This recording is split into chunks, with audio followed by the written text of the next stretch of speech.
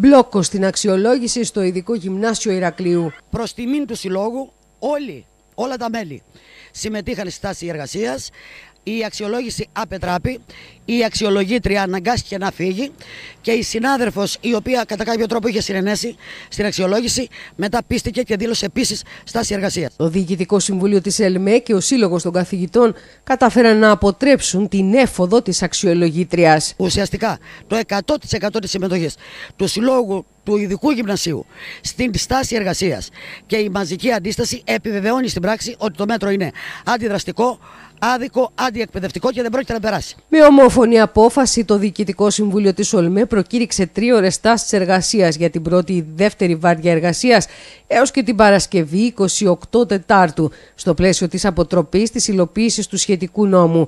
Με την ΕΛΜΕ Ηρακλείου να κηρύσει επίσης συμπληρωματικά τρίωρε διευκολυντικές τάσει εργασίας ώστε να μπορούν οι εκπαιδευτικοί να συμμετάσχουν στις παραστάσεις διαμαρτυρία στα σχολεία που πρόκειται να πραγματοποιηθεί αξιολόγηση. Η επίθεση συνεχίζεται εν μέσω προεκλογικής περίοδου. Δυστυχώς η κυβέρνηση ενώ διέλυσε τη Βουλή συνεχίζει τα ίδια αντιδραστικά μέτρα ουσιαστικά καταργώντας και το Σύνταγμα. Καλούμε την κυβέρνηση να σεβαστεί τουλάχιστον τις συνταγματικές αρχές.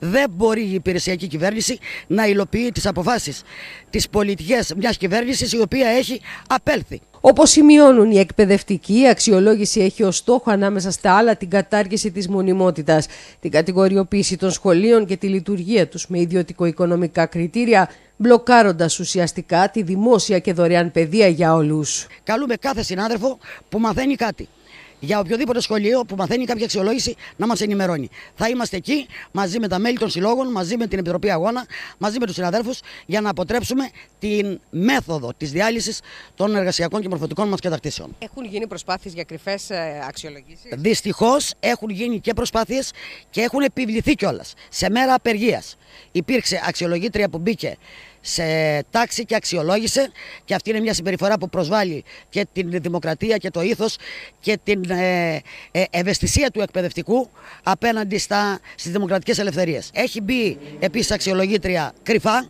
σε τάξη και περιμένει. Ε, έχει γίνει αξιολόγηση και μέσω του WebEx.